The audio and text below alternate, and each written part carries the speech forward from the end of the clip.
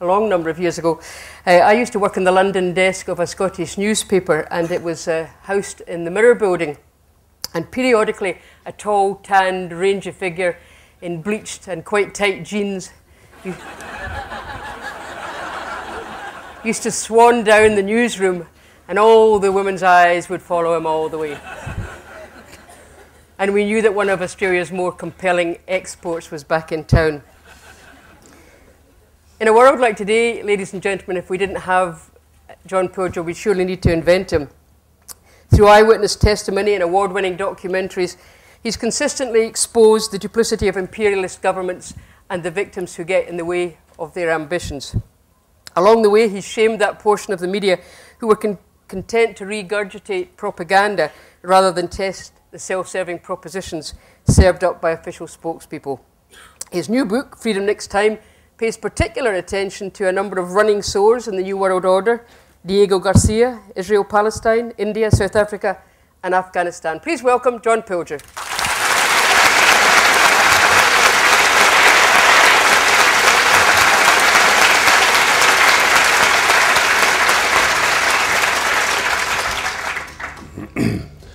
That's the best introduction I've had, no doubt. Thank you, Ruth.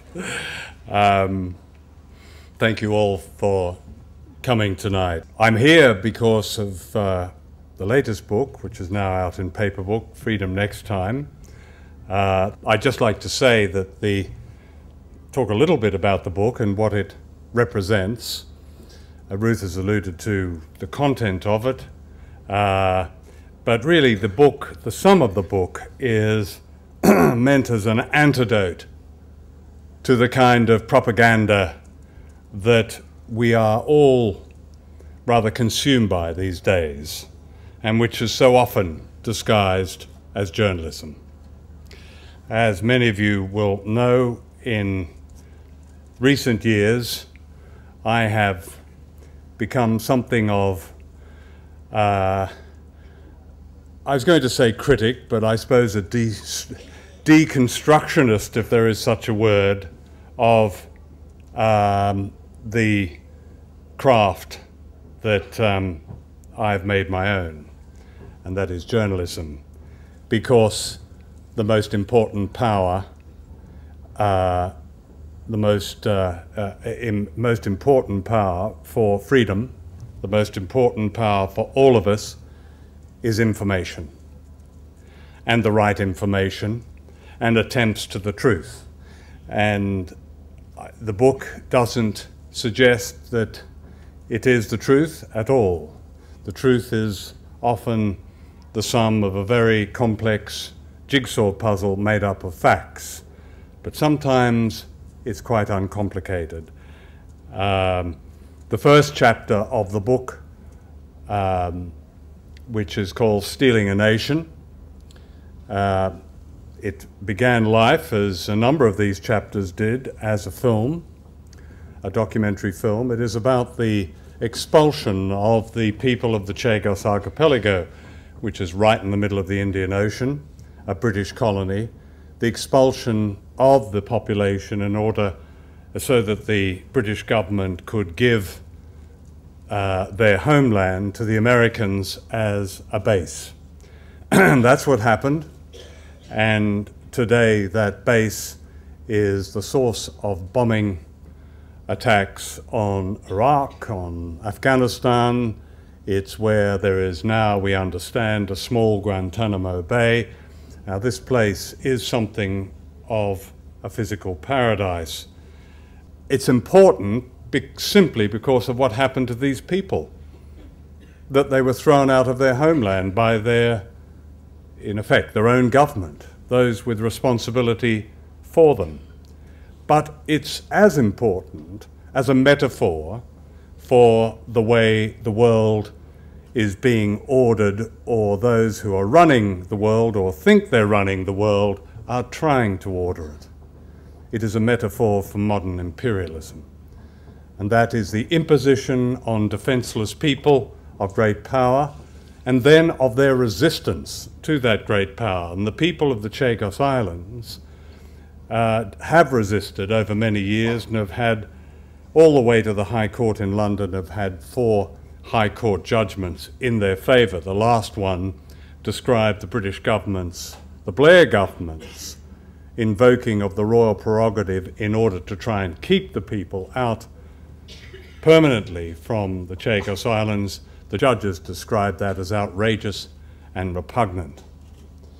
And increasingly, we find now in societies we call democracies uh, falling back on the judiciary to interpret and, uh, in, in uh, uh, uh, and, and use the law uh, to defend human rights. And that shouldn't be so. The judiciary has its place.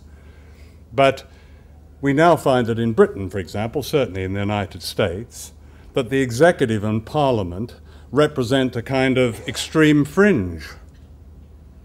And I'm not joking. How could they not represent an extreme fringe when they, on the basis of demonstrable lies, they attack a, a defenseless country? And speaking of the executive here, Blair, of course, and his government attacking a country with Bush, an illegal action which has caused the deaths uh, up to last year, according to the peer reviewed John Hopkins School of Public Health survey, the only really credible one, 655,000 people.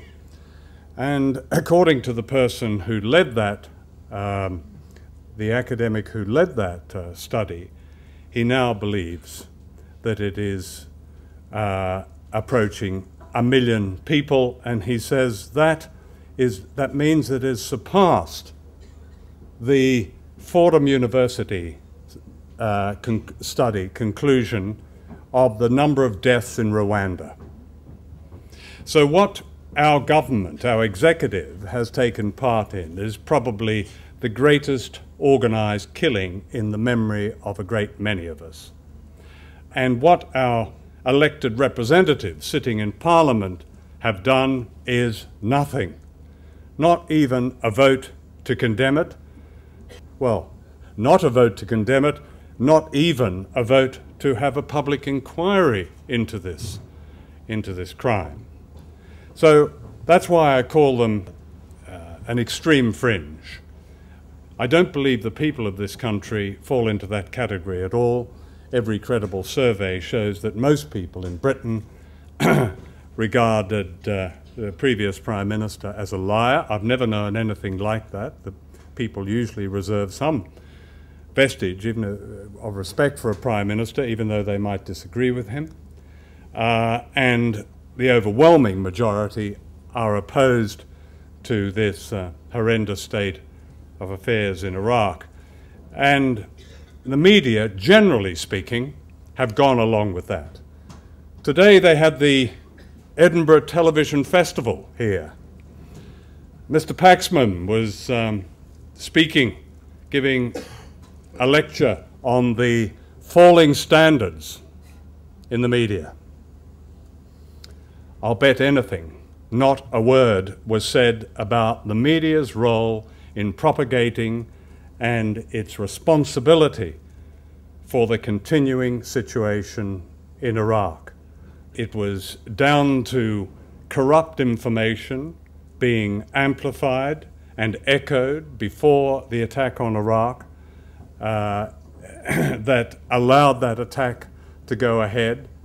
Uh, and, you know, long after the, um, the scandal of weapons of mass destruction, non existence weapons of mass, mass destruction, was exposed, we still have, by and large, with many honourable exceptions, but by and large, the media taking the point of view that uh, uh, taking the point of view of government, uh, almost as if a definition of professional